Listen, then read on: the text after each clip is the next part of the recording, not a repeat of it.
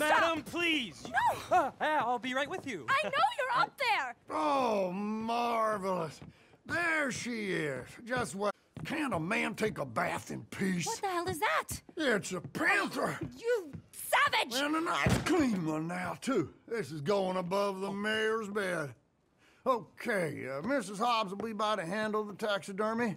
Oh, travel safe, my friend. Wait, who are you? Where's Cecil? Glenn, I'm a friend of his. Cecil had to take a few days off. Mm-hmm.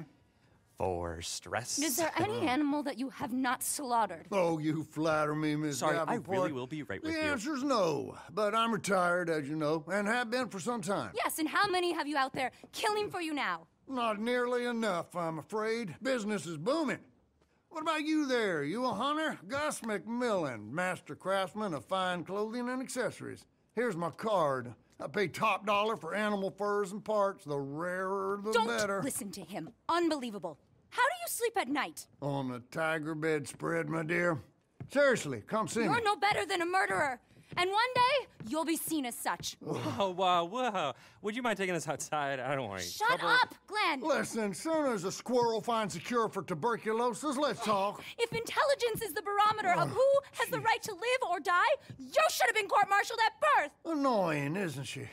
See him? The only thing he had on his mind was hunger, sweetheart, but I pulled the trigger. Survival of the fittest, isn't that your mentor's trite catchphrase? It's not survival of the fittest. You are killing to line your own pockets. This is how I make my living. We don't all have a rich daddy. While you're camped out in the woods, making witches' brews and talking to the wildlife, the rest of us are doing some real work. you think work. this is some big joke? Oh, That- that's what enough. the hell is that? Ah, ah. Crazy shrew. They should throw you in an asylum. Oh, that's it. I quit. You can tell the mayor I've gone home. Oh, sorry about that awful man. Harriet Davenport. I've been in the field now for three years, studying the hidden interconnections between animals of all species. I've seen everything I've endured joy, disgust, regrets, envy. Hmm, We're so much more alike than we are different.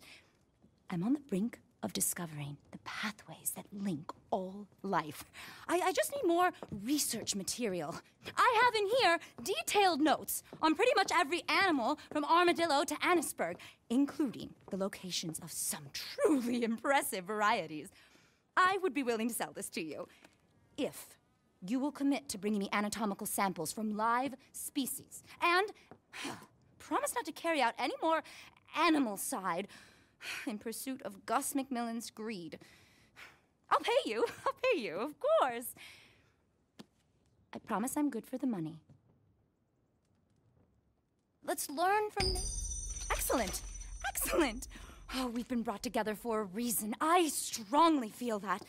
I've been experimenting with tonics that can provide access to remarkable new pathways of communication with other species. You have to live as they do, eat as they eat, hop as the toad, dig as the mole, love as the badger.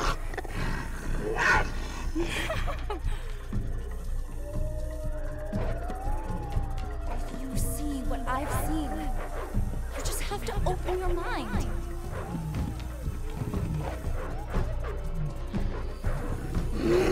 Join me on a voyage of discovery.